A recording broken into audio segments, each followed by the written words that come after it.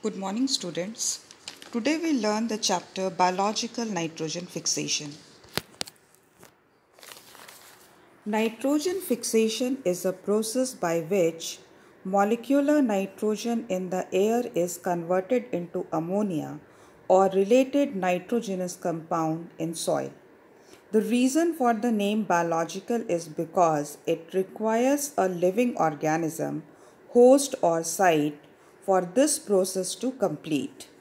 Nitrogen fixation is essential to life because fixed inorganic nitrogen compounds are required for the biosynthesis of all nitrogen containing organic compounds such as amino acids and proteins, nucleosides, triphosphates, and nucleic acids.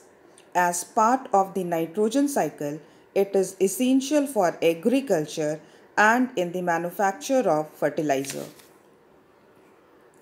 Nitrogen fixation is carried out naturally in soil by microorganisms.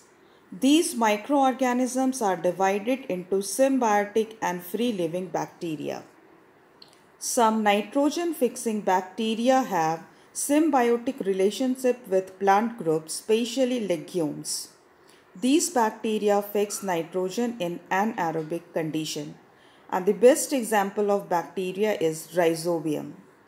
Examples of free-living bacteria include cyanobacteria, azotobacter and clostridium.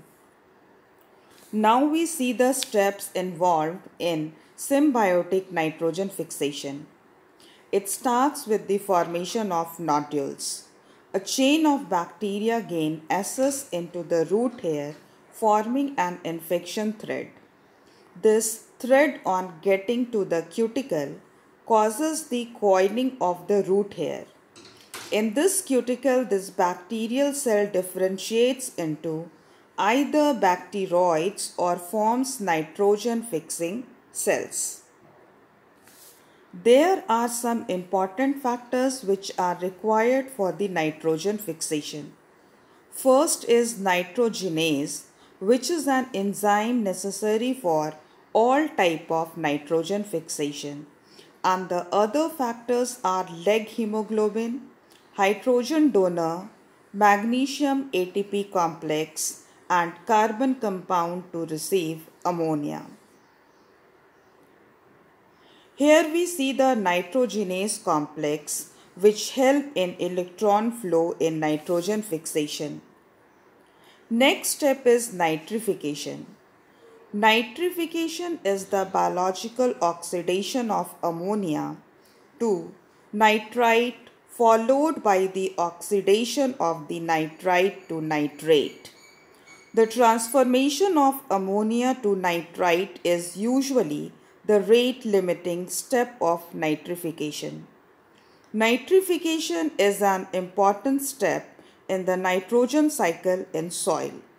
Nitrification is an aerobic process performed by small group of autotrophic and archaebacteria. Next step is ammonification. It is a process by which the organically bound nitrogen of microbial, plant and biomass is recycled after their death. Ammonification is carried out by a diverse array of microorganisms that perform ecological decay services and its product is ammonia or ammonium ion. Next is assimilation of nitrogen. Nitrogen assimilation is the formation of organic nitrogen compound like amino acids from inorganic nitrogen compounds present in the environment, it completes in two steps. First is nitrate assimilation in which the nitrate obtained from the soil is reduced by the action of nitrate reductase forming nitrite in the process. Now the nitrite reduced by nitrite reductase forming ammonia.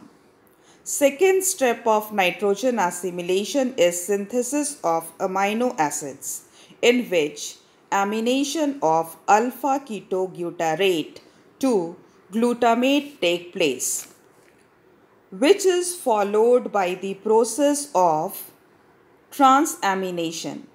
This is simply the transfer of amino functional group from a substrate donor to a substrate acceptor.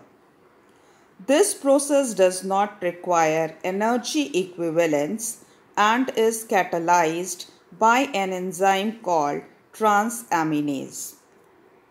The whole process is performed in cyclic manner and called nitrogen cycle. Thank you.